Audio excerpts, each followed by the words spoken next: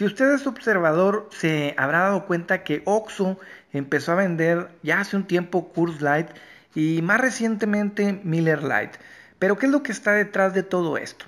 Cabe recordar que en 2010 Heineken, esta compañía holandesa, le compró a FEMSA la cervecería Cuauhtémoc Moctezuma por 7.400 millones de dólares y una participación de 20% que ahora se redujo a 15% en la corporación europea, esto a nivel global.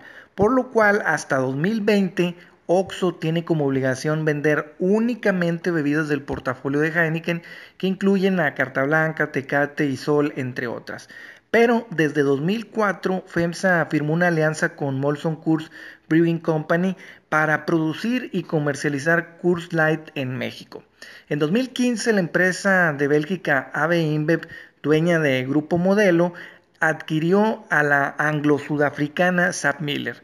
Sin embargo, obviamente las autoridades antimonopolio no les permitieron incluir pues todo el catálogo que tenían y tuvieron que deshacerse de Miller, la cual se le vendió precisamente a Molson Coors.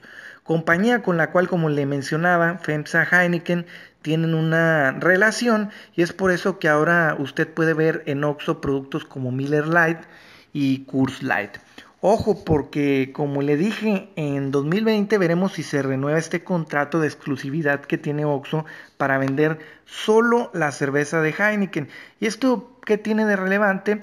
Si bien sabemos que 7-Eleven comercializa cervezas de muchos fabricantes, Oxxo es el principal jugador del mercado mexicano con aproximadamente 17 mil sucursales, muy por encima de su competidor que el que le sigue es 7-Eleven con 2.000 unidades, si escuchó bien 2.000 unidades, y después Círculo K con 1.200. Es por eso la relevancia que tiene Oxo y estas cervezas en este mercado.